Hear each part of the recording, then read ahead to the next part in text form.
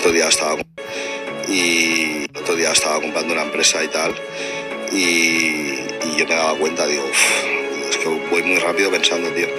O sea, el tío me decía una cosa y ya, ya, estaba pensando en la, la, siguiente respuesta, ¿sabes? O sea, eh, sí, eso, en, eso soy bueno.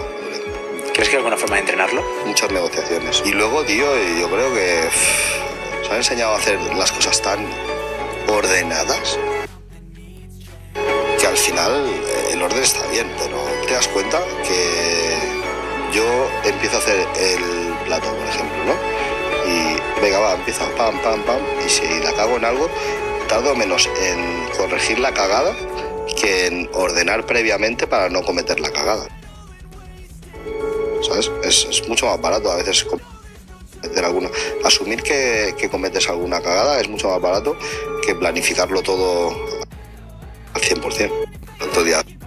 Bueno, chicos, eh, campeones, campeonas, entiendan este mensaje de un multimillonario aquí en España. Se llama José Elías Navarro. Bien, él lo que intenta decir es que muchas veces nos quedamos planificando, analizando, pensando, procesando y, y resulta que ahí nos quedamos y no hacemos nada. Y yo creo que es la realidad absoluta.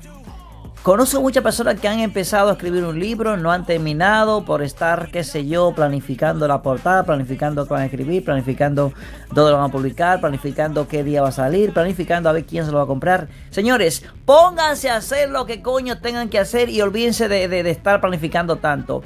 El mucho análisis causa parálisis y después no hacen nada. Sí, hay que saber lo que se quiere ser, lo que se quiere tener, en donde se quiere llegar, pero señores, vamos a tomar acción. Yo digo las siguientes palabras y las vuelvo a repetir 50 mil veces. Piense y haga, piense y haga, piense y haga. No simplemente se trata de pensar y pensar, analizar, sí, es importante planificar un 40% o un 30% y trabajar un 70%. Resumiendo, trabaje un 30%, no, piense un 30% y actúe un 70%.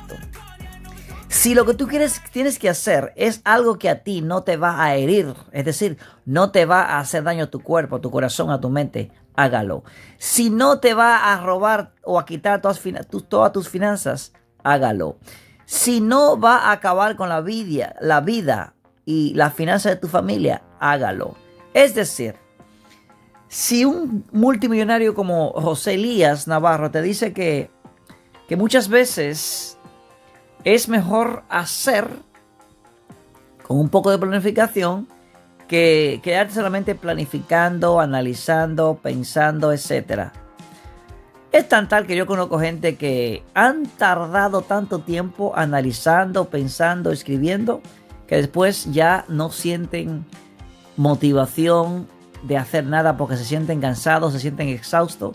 Y dicen, ¿sabes qué? Pues mira, lo hago mañana, lo hago pasado, lo hago un mes, en dos años. Y así se quedan y nunca hacen nada.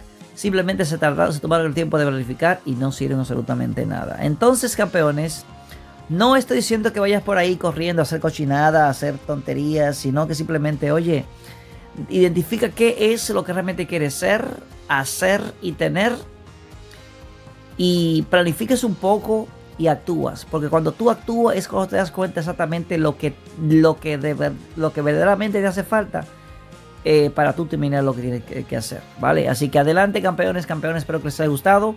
Y nada, adelante, que este tutorial está muy bueno y espero que lo aprovechen lo más que puedan, ¿vale? Este fragmento lo, lo fue tomado de uno de los vídeos de... Bueno, los mensajes de José Elías y que quiero que si él ve este mensaje se dé cuenta que sí, que se lo estoy diciendo, que tome este fragmento con el objetivo de poder ayudar a vosotros más que podáis. ¿eh? José, Elías es un señor que tiene, según las redes sociales, tiene 179 empresas, tiene como algunos casi 5.000 empleados. Para hablar con él eh, es aproximadamente unos 3.000 euros por 30, 30 minutos o una hora. Y nada, es el más rico, es el número 32, 52 de los más ricos de España. Así que ya saben, sigue la, la revista Forbes.